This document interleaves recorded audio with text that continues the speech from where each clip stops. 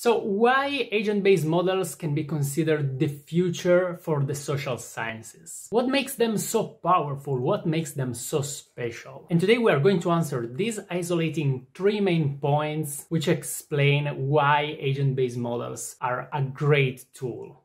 So good morning agents, my name is Dino Carpentras and I'm a scientist in social complexity. And in this channel we study our society using tools from complex systems, mathematical modeling, simulations and even video games. And to get to our three points of why agent-based models are so cool, we need first to start with an example. An example of two scientists having an argument within the social sciences. So let's think about these two scientists let's give them a name, Alice and Bob. We're really original today. So both Alice and Bob think that when people interact, they tend to become more similar. However, Bob thinks that this means that people will converge to becoming more and more similar until they are all the same. Well, Alice thinks that this process is a little more complex, so yes, people will become more and more similar, but this will generate pockets of people with the same idea, thus resulting in difference of opinion and polarization.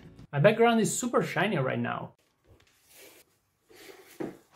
It's much better. Back to Alice and Bob. So the problem here is who is right? How can we really say that one is right and the other is wrong? Because for example, to me, it really looks like Bob is right, but also there are a lot of people which claims that actually Alice is right. So mm, what's going on here?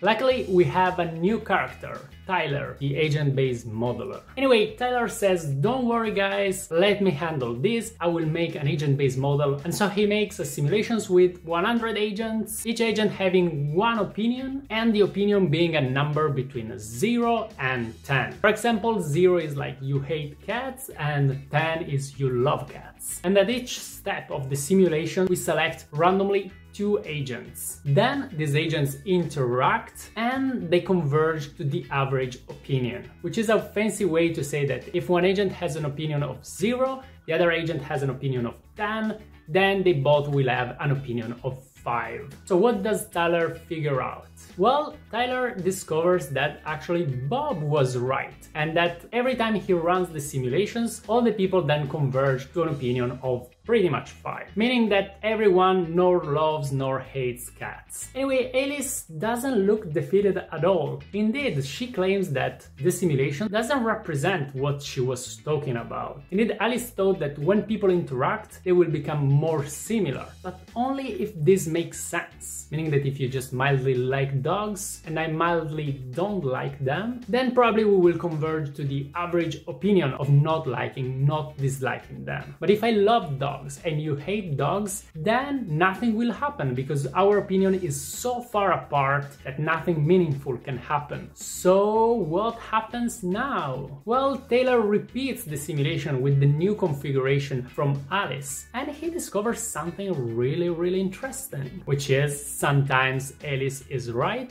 and sometimes Bob is right.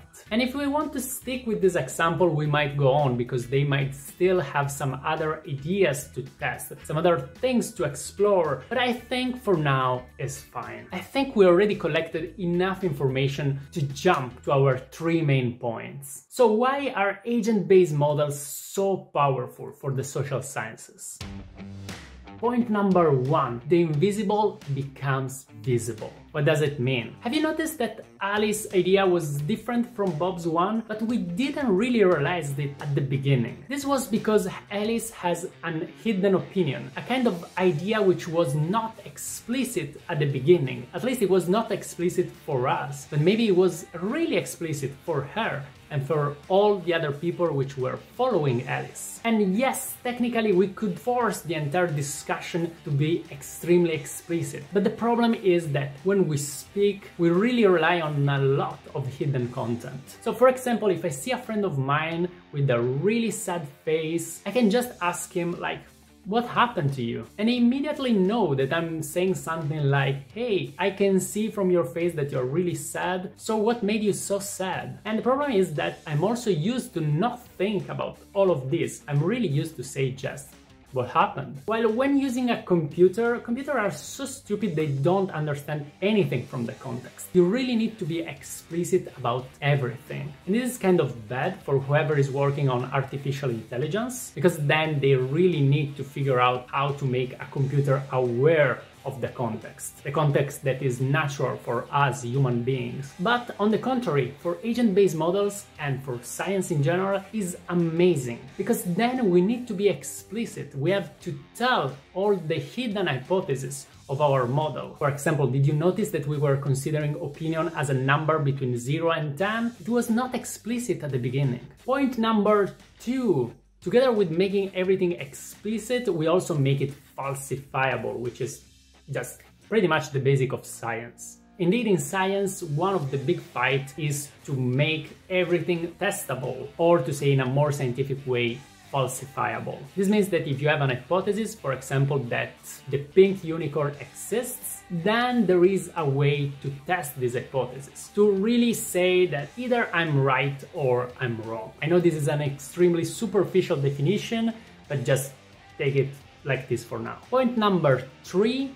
actually all of these make us go farther. We don't just stop to the discussion, to discussing actually who is right and who is wrong, but we figure out that there are so many other parameters. For example, really opinion should be represented just as a single number. What happens if people interact in more than two? Maybe they interact in a group of three people or five or 10 or 100? Should we just use the average between their opinion or should we use another mathematical function? And we can keep going on and on. And this might look like a bad thing because at the beginning it looks like we were starting with just one question and now we have tons of questions. Is that bad? This is actually the core of science because we need to figure out what we don't know and what we need to explore. Just imagine at the beginning of quantum mechanics. What if people would have said something like, oh, this is too complex, just let's look for something simple. So actually having all this bunch of questions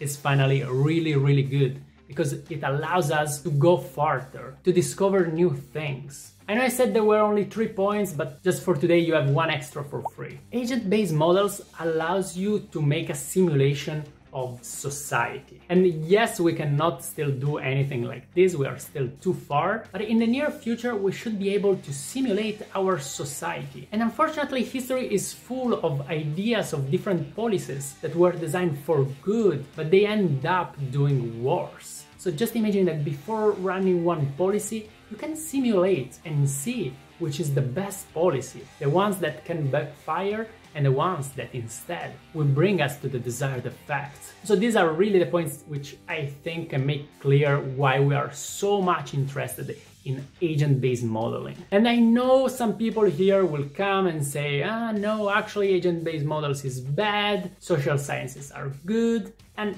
just hear me out here. I'm not saying that there is a competition between the social sciences and agent-based models. Agent-based modeling is a tool of the social sciences, just like mathematics is a tool employed by physics. So you won't say something like physics is good and mathematics is bad or vice versa. They're just two fields which are really interconnected and one is pretty much a tool used by the other. So please don't take this wrong. Also, let me know in the comments what do you think about agent-based models and also what do you want to hear next. Because this channel is about social complexity, so we can explore agent-based models, we can explore networks, we can explore so many things. And you guys are really helping me out in deciding actually what to do next, because actually it depends on what you're interested in. So if you want more of this, just subscribe. I have every new video every Monday. And that's it. Have a great day and have fun.